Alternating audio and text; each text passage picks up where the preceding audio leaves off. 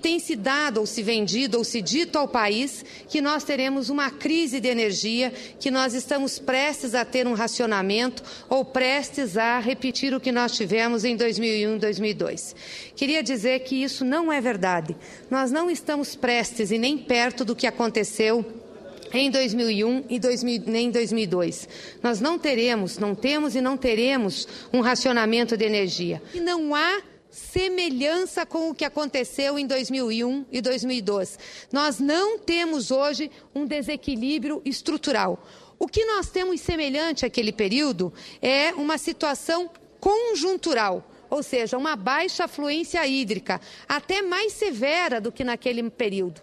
Se nós não tivéssemos essa infraestrutura que eu relatei aqui, nós já estaríamos numa situação de racionamento. Mas graças à retomada do planejamento, à realização dos leilões de energia, as determinações feitas pelo governo do presidente Lula, pelo governo da presidenta Dilma, hoje, mesmo tendo uma situação hídrica, um estresse hídrico, uma situação difícil, nós não corremos risco de racionamento.